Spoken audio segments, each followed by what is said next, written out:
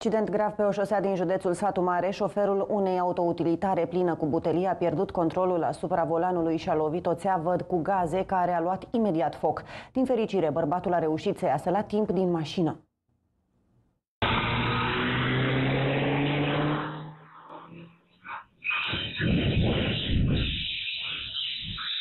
Accidentul a avut loc în localitatea Pișcolt din satul Mare. Din imaginile surprinse de o cameră de supraveghere din zonă se observă momentul în care șoferul autoutilitare încărcată cu butelii pierde controlul volanului și se izbește cu mașina de peretele unei case. După impact, duba a luat foc, însă, din fericire, bărbatul a reușit să iasă la timp din vehicul. Culmea este că mașina a lovit și o țeavă de gaz din fața casei.